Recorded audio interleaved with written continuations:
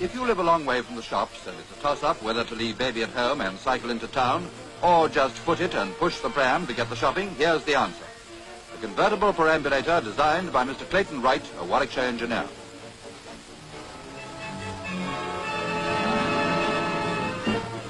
It was the sight of small children strapped to the pillion seats of their parents' bicycles that gave Mr. Wright the idea.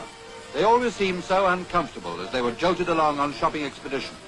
But now, in a matter of seconds, the pram becomes a comfortable sidecar fit for His Majesty to have a smooth run home while Mum does the pedalling.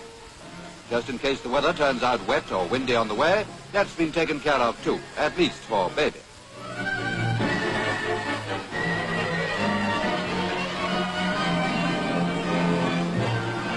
And as the handle is swung over to the back of the pram, three of the wheels automatically lift clear, leaving a one-wheel sidecar and reducing the danger of skidding. Quite the thing for the bouncing babies of today.